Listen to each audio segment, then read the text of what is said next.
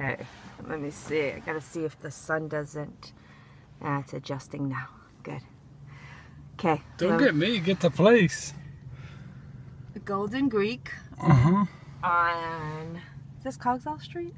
Yeah, the corner of Cogswell and Ave. So, what did you have today for breakfast? I had a three egg veggie omelet. It was very good. I usually get a sauteed. Uh, it was good. Very popular place. A lot of people come here. But somehow today is not that busy because I guess Monday. But it was good. What did you have? I had a spinach omelet and a spinach omelet, and it was really good. I had it with cheese, and I love their home fries. So They're gonna say you got the same purple shirt again. It's because I came from the gym. Oh, the gym. You go to exercise. yeah, but I'm not losing weight. How long have you been exercising?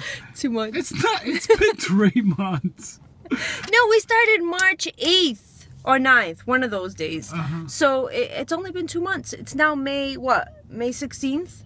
Two months. Two, month, two months and like a week. But we don't count Saturdays and Sundays. We don't go to the gym Saturdays and Sundays. And we took one week off when we went to Azores.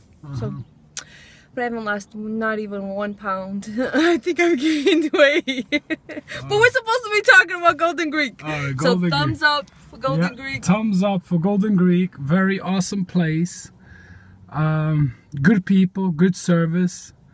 Uh, the cooks go the extra mile. They do a good job. Uh, Fast.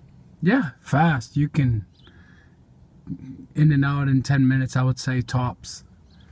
All right, guys. Later.